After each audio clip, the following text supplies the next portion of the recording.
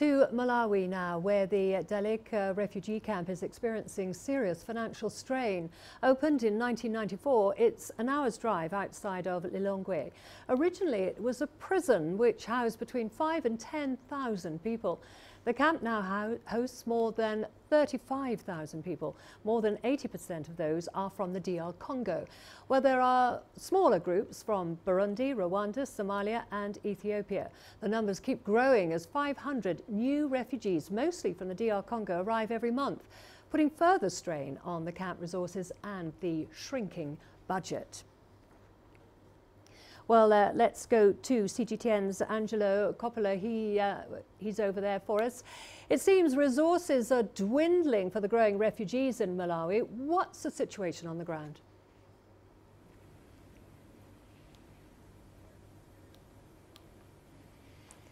Well, Karen, it's uh, very simple. There are three key issues here. Firstly, we've got overcrowding, we've got a finance issue, and also there's a health issue. So there are a range of issues that we need to look at and need to focus on. And I'm joined here by Monique Ekoko, who's the Malawi representative for the UNHCR.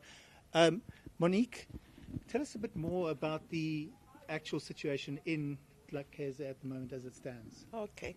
Dzaleka camp is a camp that was actually uh, started in 1994 and uh, at the moment it hosts about 35,000 refugees and asylum seekers, the majority of them, over 20,000, being from the Democratic Republic of Congo, followed by the Burundians and the Rwandans. As you can see, the, when the camp was initial, initially opened, it was meant for just about five to 10,000 people, but today we have more than three, four times or even 10 times, I should say, the number of people living there. So there are issues of, of congestion. And uh, we have challenges because we have a, we are underfunded. Uh, we have a, a funding uh, request for 17,000 or more, for which we only got 6,000 and plus. So you see there's a gap of almost 10.6 million. What does that mean for the operation? Of course, we have to do with what we have. Have is a challenging uh, uh, uh, situation for UNHCR as a whole, and this being a protracted refugee caseload, not so much attention is being paid to it. So you have a situation where the health facilities, education, as well as uh, living conditions and even food uh, are really beyond below standards. You have a situation where for every uh, um, uh, 750, uh, 750 refugees, you have one latrine. This is unacceptable, where the ratio is supposed to be for 25 people. Boreholes, we have just about 46 boreholes in the camp to serve 30 something thousand people. What do we expect?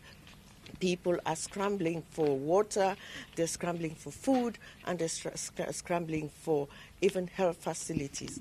Education, at it, it's, it's also a key issue where at the camp level you find that not many of you have just 30 something percent of school uh, children going to school I must also say there have been some good things that have been done.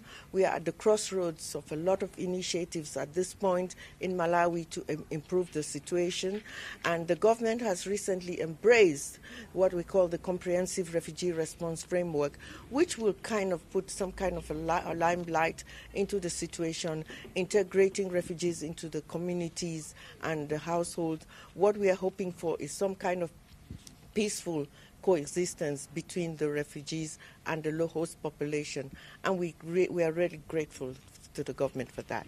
Monique, um, one of the successes, I guess, is we know there was there was some unrest in uh, Mozambique mm-hmm. a year to two years ago, and a couple of thousand refugees were in country. What's happened with those refugees in the recent past? Oh, the Mozambican refugees have just left about a month ago back to Mozambique. It's really good news. We're happy.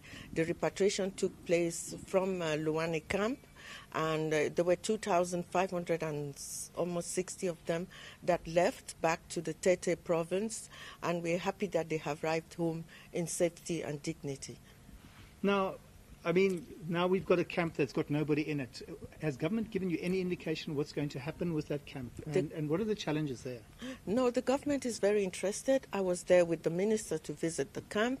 The government wants to ensure that the resources and the infrastructure that was put in the camp is maintained and kept in. Um, in good shape, and UNHCR will be supporting them for this because bear in mind that this camp which was there in the 80s and 90s when you had the Mozambican refugees.